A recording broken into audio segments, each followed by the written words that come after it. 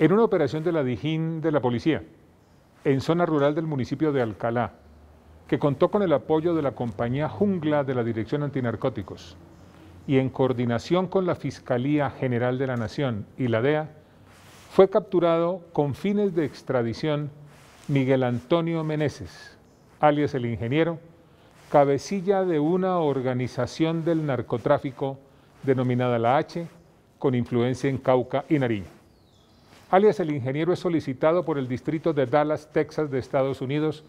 por tráfico de estupefacientes y financiación de terrorismo. De acuerdo con las investigaciones,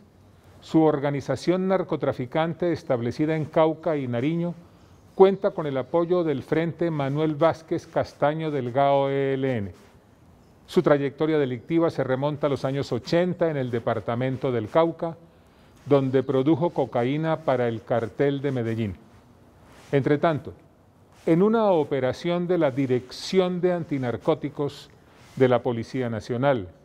en coordinación con la Fiscalía fue capturado en San Pedro de Urabá, alias Davinson, señalado por ser el cabecilla de la subestructura Jorge Iván Arboleda del GAO Clan del Golfo, con influencia en el Bajo Cauca y el nordeste antioqueño. Este hombre, con una trayectoria criminal de 15 años, está vinculado junto a su estructura con homicidios, extorsiones y narcotráfico en esta región del país. En su contra tenía una orden de captura por concierto para delinquir agravado. Se trata de operaciones contundentes en contra de organizaciones criminales que hacen mucho daño a los colombianos, por lo que hoy quiero felicitar a la Policía Nacional por su compromiso en la lucha contra el problema mundial de las drogas.